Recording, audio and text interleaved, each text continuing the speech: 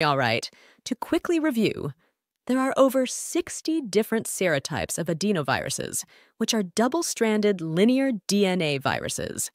When the virus infects epithelial cells, it modifies their structural makeup, causing lysis and ultimately leading to cell death. This also triggers an inflammatory reaction in the host.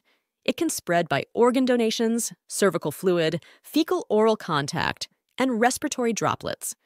It can impact the gastrointestinal tract, resulting in gastroenteritis, the genitourinary system, creating hemorrhagic cystitis, the eyes, causing conjunctivitis, and the respiratory system, causing pharyngitis, rhinitis, and pneumonia. The affected system determines which symptoms are present. The standard course of treatment is supportive, while immunocompromised patients or those with severe illnesses may also get immunotherapy and antiviral.